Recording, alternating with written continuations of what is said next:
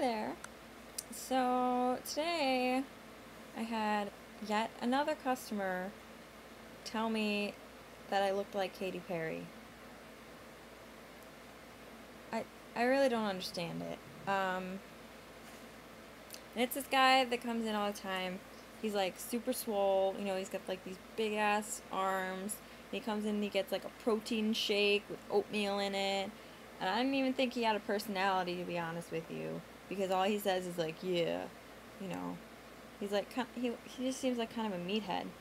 But he was like, you probably get this a lot. But I don't know if you know this. And I'm like, what the fuck is this guy about to say to me? I was really apprehensive to hear the rest of his statement. And he's like, but you look like Katy Perry. I was like, you've got to be kidding me. And he kind of was like, thought I like got mad. He's like, well, you probably hear it a lot. That's why I know I didn't want to say it. And he's like, but it's, it's a compliment. It's not a bad thing. And I'm like, I so don't see this. He's like the like the third customer to say this, plus my coworker. I've never had like a celebrity that people tell me all the time I look like. This is the first time ever in my life that someone has told me I look like a celebrity more than once. Like when that they had that thing on Facebook a while back, it was like put, put your, you know, celebrity doppelganger on as your profile pic. I had no one to put up. So I put up uh, Zooey Deschanel because I wish I looked like her because she's fucking adorable. But I guess maybe I do look like her since apparently I look like Katy Perry and the two of them are like, you know, long lost twins. But I just don't get it. I'm not insulted at all. I would love to look like Katy Perry. She's gorgeous, but I don't, I don't see it. And I said, you know, I said to him, I was like, well, it's just lipstick, right? You know, because I wear my bright lipstick. And he's like, no, no, no, it's in your eyes. And I was just like, okay, guy, maybe you should uh, lay off the roids. Maybe they're messing with your head, but yeah. So today, um, I was late to work because I thought I started at 6.15. No, I thought I started at 6.45. Apparently, I started at 6.15. Nobody called me, though, to let me know, like, hey, where are you? So I walk in, like I just like stroll in, like, hey, good morning, guys, and they're like, you're late. I was like, what do you mean? Yeah, you're supposed to be here a half hour ago. Why didn't anyone tell me? I mean, yeah, I'm an idiot for thinking that I, you know, thinking the wrong time or whatever. Apparently, I'm not the only one that's done this this week though, because 6:45 is the usual time that that morning person comes in. But suddenly it's 6:15, so confused a few people, but still, I don't know why they didn't call to see where I was. What if I was dead in a ditch somewhere? They didn't care. So, yeah, I was late. I hope I don't get in trouble for it. It wasn't my boss that was working, so they didn't care at the time, but I don't know, once she sees the punch, when she's like doing payroll, she's gonna get pissed off. Or I've already been written up for being late. I suck at waking up. Alarms don't wake me up. Like, I need some kind of alarm that, like, physically shakes me. Like, with arms. Like, it has arms that come out somehow and, like, grab me by the shoulders and shake me awake. Like, you know, a crackhead with an infant. That's how I need to be woken up. Otherwise, I don't. Like, alarms, they'll wake me up for a second sometimes, but then I go right back to sleep. Or I'll turn them off in my sleep, like before they even go off. Somehow my subconscious knows that they're about to, you know, start ringing in my face, so I turn them off or I change the time. I don't know. I also have conversations in my sleep. Like not with myself, but if somebody comes in while I'm sleeping and starts talking to me, it'll appear like I'm awake and aware of what they're saying and I'll, you know, respond but I'm asleep. And this has happened so many times where mom will like wake me up or think she wakes me up and tell me to do something or tell me about how so so and so is pregnant or whatever the hell she's telling me and then like a week later she'll mention it and I'm like you never told me that and she's like yeah I did I told you last, you know, whatever in the morning. I'm like, was I awake? It's like, I thought you were. You have to really, really make sure that I'm awake when you're talking to me because I can trick you that way. So yeah, I was late to work. So I was just like, that plus I wasn't really feeling well. I was just like a hot damn mess all day. I was all discombobulated, dropping things. I spilled fucking hot ass coffee all over my hand. I had to like turn around away from the customers because I was about to like lose my shit. Um, what else did I do? I was just a mess. I kept like burning up. I thought I was like getting. I thought I felt like I had a fever or something. I, I don't know. I must have been. I think I might be getting sick or something. Or I was sick yesterday, so maybe it was still residual. But oh my god, I thought I was gonna pass out like ten times at work. I was a mess.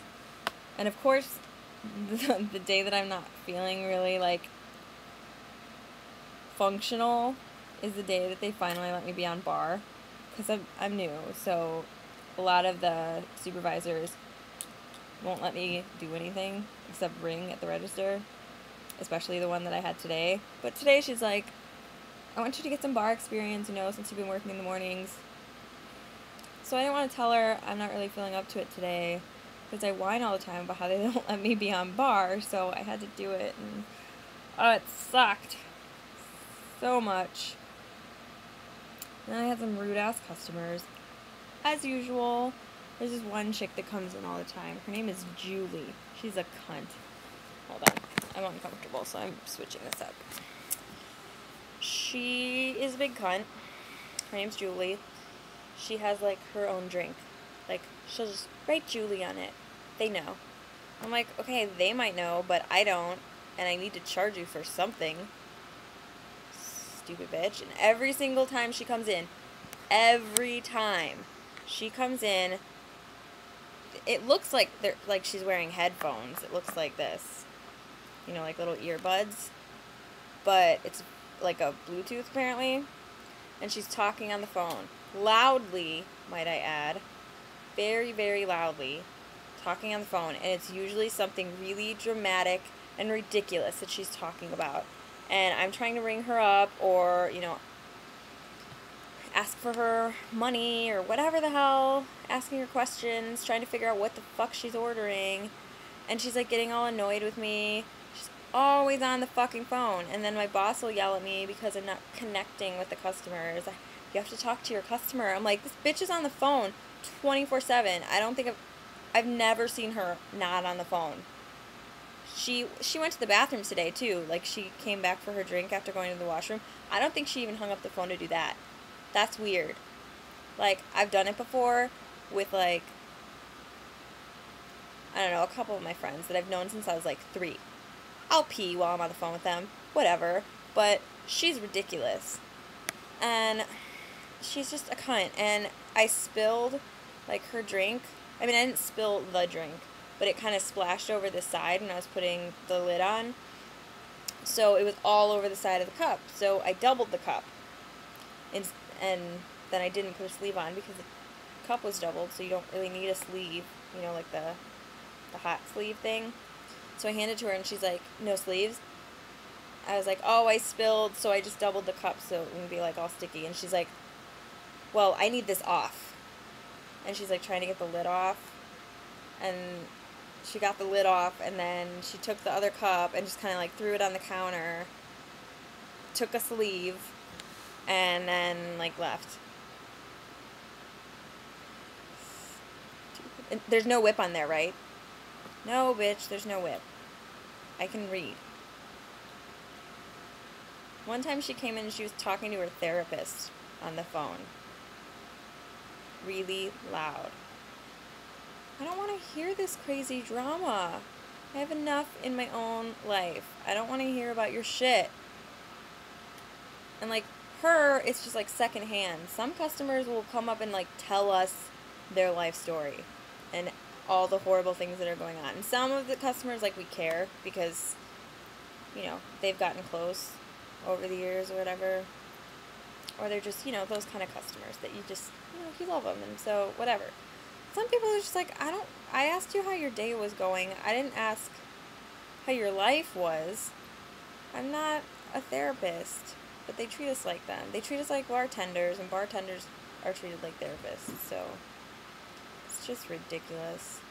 Also, another stupid customer I had today was like screaming at me from across like over the espresso machine because I was making her drink, and she's like, "Excuse me, ma'am, ma'am, excuse me, excuse me, ma'am," like screaming at me because she wanted like extra caramel in the cup or something. You don't have to yell. If you're gonna if you're going to say things like excuse me or please or ma'am, stuff like that, like, you know, polite words, don't even bother if you're to scream them at me in my ear. Because it's just kind of, I don't know, not the point. I don't know if that made sense, but yeah, they were just and I was a hot mess, so everything annoyed me ten times more. I wanted to punch everybody in the face. I was dizzy and I just didn't feel good. And then our DM was in there, and so the supervisor was like not on the floor because they were off talking to the DM. So it was like chaos. It was just it was a crazy day. But I got Taco Nazo, so that made it a lot better. Taco Nazo is the most magical place on earth. It's a taco place, like down the street from my house. I just discovered it, like, I don't know, maybe last summer. It's been there forever, but I never really knew anything about it, if it was good or not. I never knew anyone that had eaten there. My friends took me there. Oh my god, it's fucking amazing. Best Mexican food other than homemade that I've ever had. Delicious. And it's not like super greasy. So good. And my friends and I have this saying like if you're totally exhausted and just like out of steam, out of gas, we say you're out of beans because there were these stickers at my old work that said out of beans question mark? And my friends just thought that was really funny. It meant like if you're out of beans you know buy some coffee. That's what it meant. But they turned it into an expression. If you're out of beans you're just drained you know? And so you need to restore your beans. And i definitely restored my beans at taco nazo today.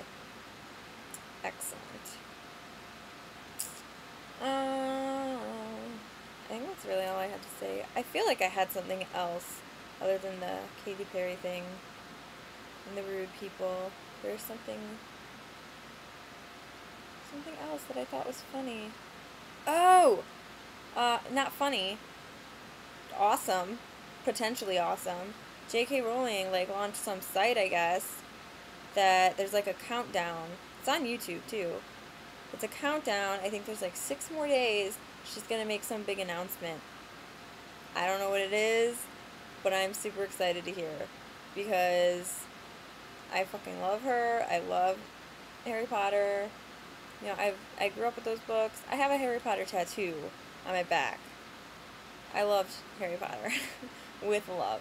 So I am so psyched to hear whatever she's going to announce, and it better be something ridiculously awesome. Like maybe she's maybe she's pulling the publishing the encyclopedia finally, or I don't know some kind of other unrelated book. I don't care. It just better be awesome.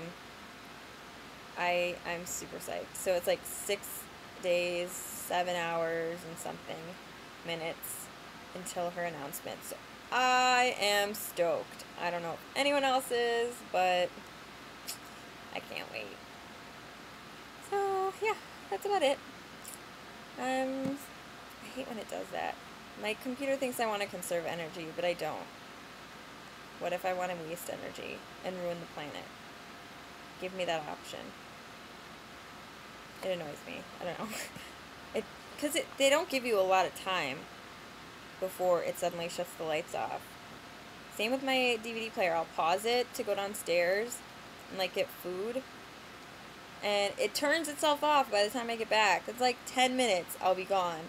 And it turns it off, and then I have to find the spot that I was at. And for a while, I didn't have a remote, so I couldn't even find the spot. so I would have to rewatch it or give up. I don't like when technology thinks they know what I want. Yeah, alright, I'm, I'm pretty much done here. If I think of anything else, I'll say it later. So, yeah. Toodles from Katy Perry.